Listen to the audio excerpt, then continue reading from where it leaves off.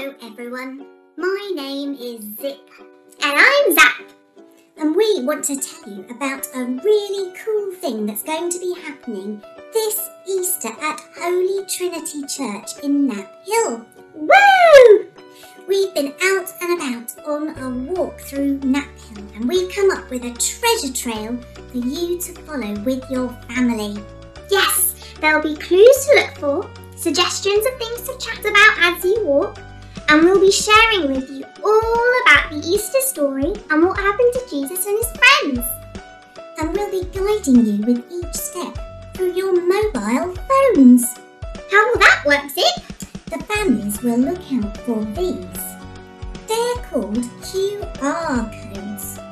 When you find one, children, you can scan them with your mum or dad's phone, and that will tell you where you can find the next code. Ooh, how exciting! At the end of your walk, there's an Easter treasure pack for you to collect, which will have all sorts of goodies.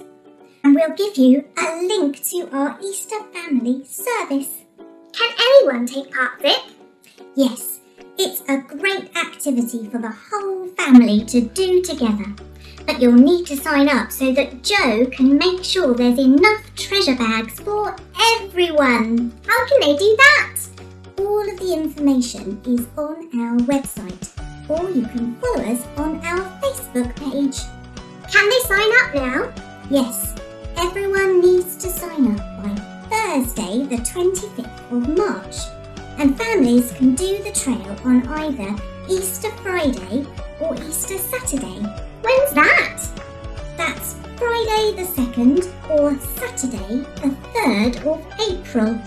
It's going to be so much fun.